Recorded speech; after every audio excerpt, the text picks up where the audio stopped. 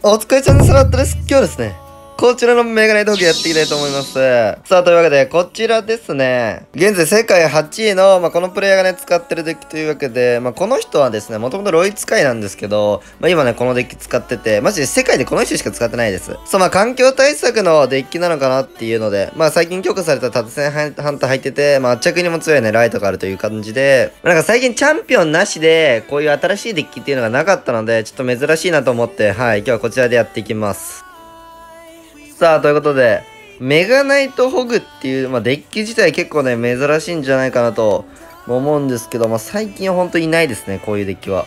だかちょっと前というか、まあ、結構昔はメガナイトインドホグ、なんかコウモリギャング枯渇みたいな、まあなんか枯渇ホグみたいなデッキとかもありましたけど、最近にしてはマジで珍しいですね。しかもこういうなんか、最近新しいデッキ生まれたとしても、基本的にやっぱチャンピオンが入ってるもんなんですよ。そうそうそう。だから、これチャンピオンなしで新しいデッキ生まれるっていうのが、マジでレアかなっていう。なんかね、チャンピオンなしで上に上がってるデッキとか、やっぱ、枯渇とか、ペッカとか、まあいろいろありますけど、新しく生まれたデッキでチャンピオン入ってないっていうのが、まあすごいレアですね。うーん、あ、ちょ、色服っすかね、もうこれ。環境のですね。だからこういう環境デッキの、あー、まあ、考え的にか。はい。戦えるんじゃねえんかなとは思うんですけど、どうでしょうか。で、縦線なので、まあ、ロイホグの、よいしょ、縦線型？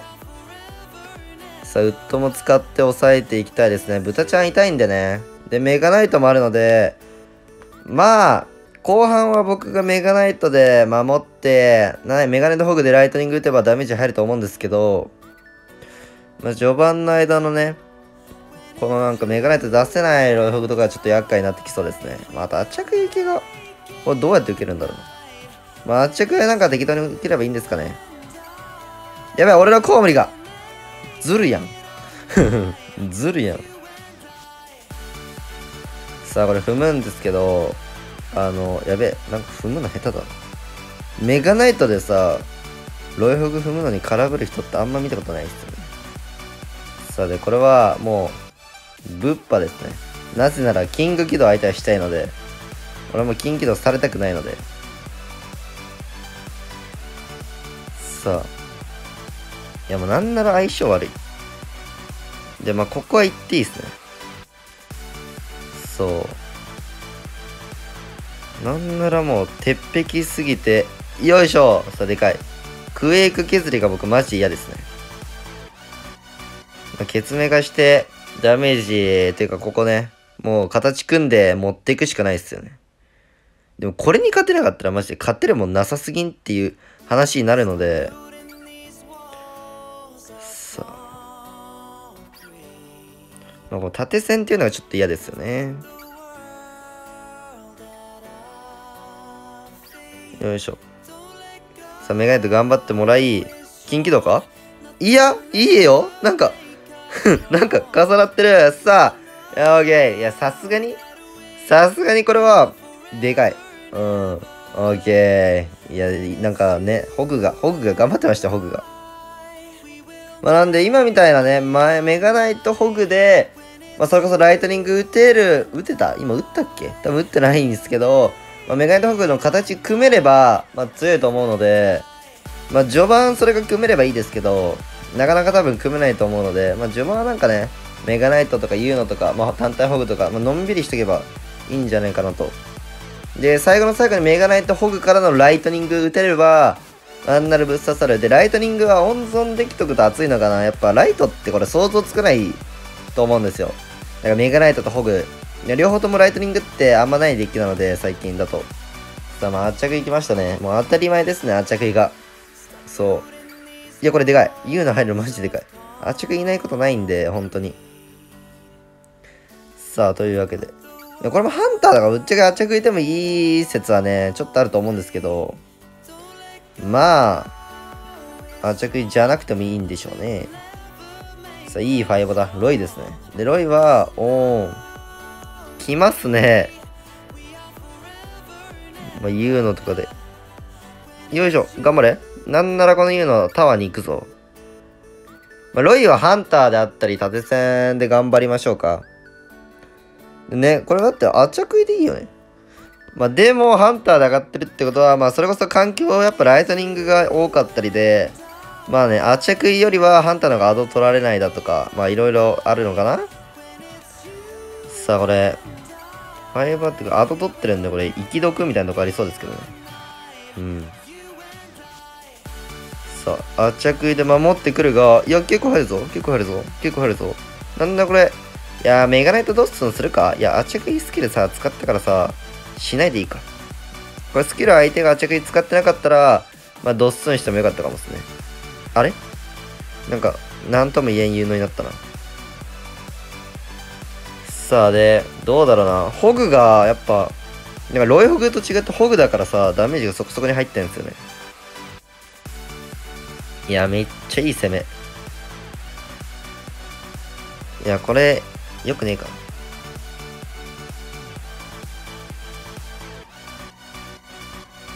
いや、めっちゃいい受け相手。で、今トリト回るもんね。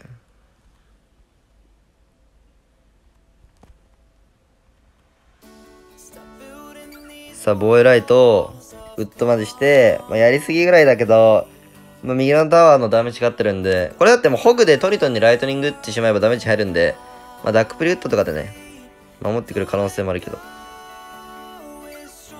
これ LSP の早く吸収したいな、先に。いや、LSP 強っ。マジで。延命されるかないや、うまいっすね、マジ。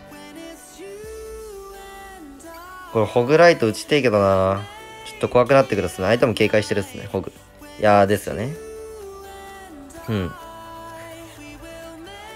それなんならこういうとこにライトニング来るかも。え、でもトリトン咲いたらさ、飛ばし毒みたいなとこある。でさ、で守る。いや、縦の戦士が強い。縦線がいいね。さあ、強化縦の戦士が暴れてる。これなんならいっぱいにいっといてさ、引っ張りにくいんじゃない？トリトン。一発？いや、ウッドがうまい。でも LSP 使ったんで、コウモリで無双できる。いや、なんかいいっすね。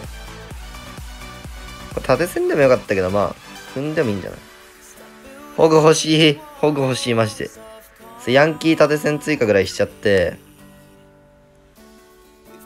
マジでハンターとかあれば、ある程度守れると思うから、いや、縦線すんだな、それ。熱い。ホグが？一発入ってく。さあ、ウッドと、コウモリチクチクライトニング。そう、ナイス。まあ、あっちゃくいね、強いですけど、今の環境ほんとぶっ壊れくらいで強いですけど、ハンターだからこその、まあ、メガナイトハンターであったり、まあ、ロイジャイとかにもね、高回転でハンターついていけるよねっていうのがね、いいのかなと思いやす。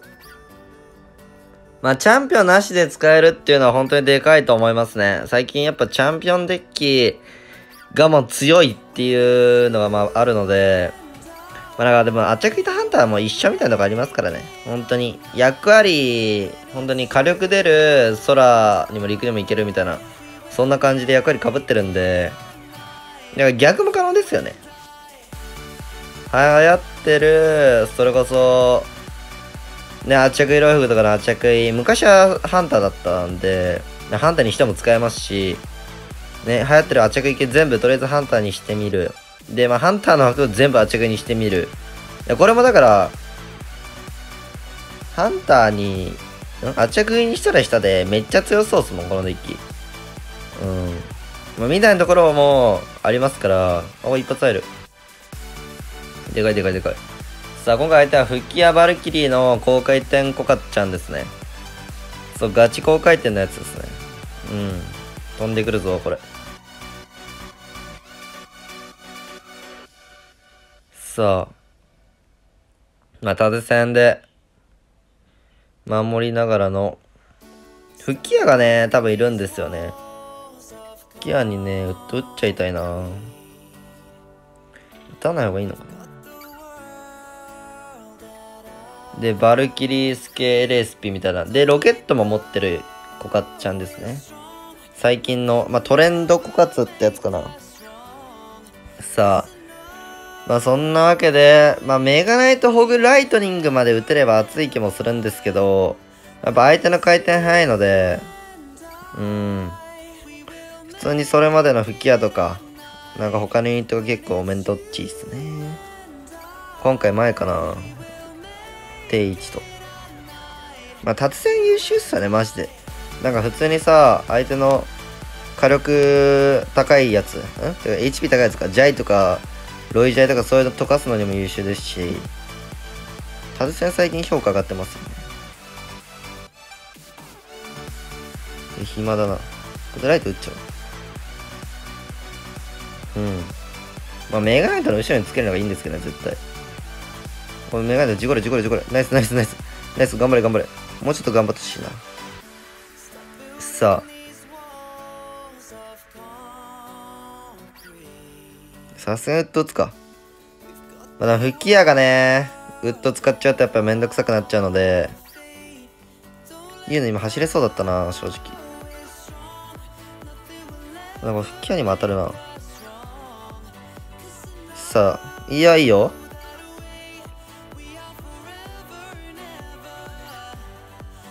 危ない。まあでも相手のね、回転2.9ぐらいで、マジ速いんですよ。そうだから、2周目の逮捕がね、今みたいに回っちゃうよねっていう。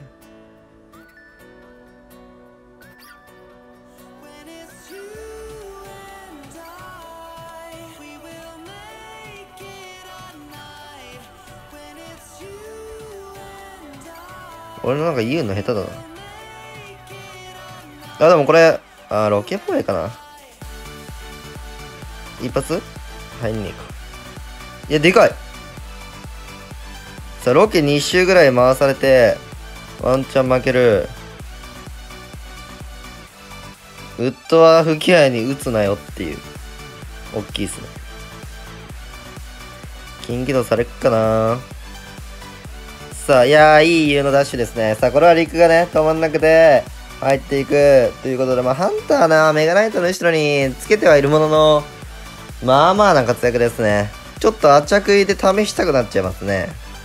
まあ、この出来だと、雪玉とかでも、すごい強そうですけどね。ハンターコウモリで、なんなら相手のコウモリとかガゴとかちょっとしんどくて、まあ、枯渇はまあ、縦線の中で頑張ればいいっしょっていうので、ワンチャン雪玉も強そうだし、まあなこういうのは本当いじりがいがあるデッキな気がします。さあ、ジョン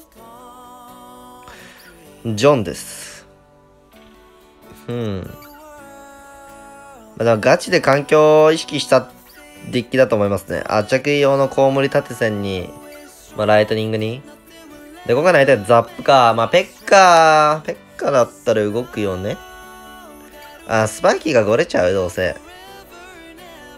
そんな気がします。まあ、最近やっぱ陸環境なので、もうこれ陸受けもちょっと多めになってますよね、これも。うん。で、これは相手一体の方に行きます。あー、でもザップだったなこの U の追加はうざそうだけど。いや、結構いい U の追加じゃない？まだランバいた？さあ、ランバ痛い？ペッカバルーンなのか？うん、エレギランバーザップ。さあ、フリーズが来たとしたらもう、逆にぶっぱでみたいな。これ、き得な気がすんな。エレキとあれ使っててさ、フリーズ防衛とか。うん。エレキトルネ使ってて、コウモリ浮きなかったんでね。いやでもこれがフリーズだけで抑えられるのちょっと痛いな。で、終盤は多分、マジランバルでフリーズパッキンか攻め取るの剥がして、本当にほぼ一発で持ってかれるぐらい、バルーンが嫌っすね。なんかランバルフリーズガルドのお空。そう。だから、うーん、知らん。まあ、一旦逆にメガネと咲いちゃいます。もう最後11交換する気でいきます。さあ、しかもベビドラもいるっていう、ちょっとレアめなね。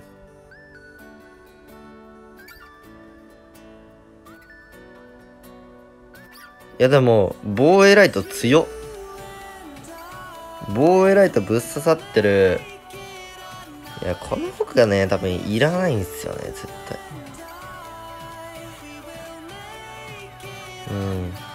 で、ここで攻めます。なぜなら、ベビーとかでぶっ破されて、そうなんです。これ守れないんですよ、僕。まあ、守るんですけどね。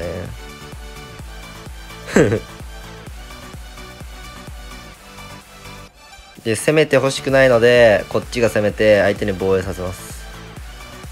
で、あれ、ハンターも受けがいるんで、逆サイなこと言うのが、結構エッチめで入るんちゃう言うて、さあ、両方、ポキッえいということで、まあ、バルーン多分組まれたら終わりますね。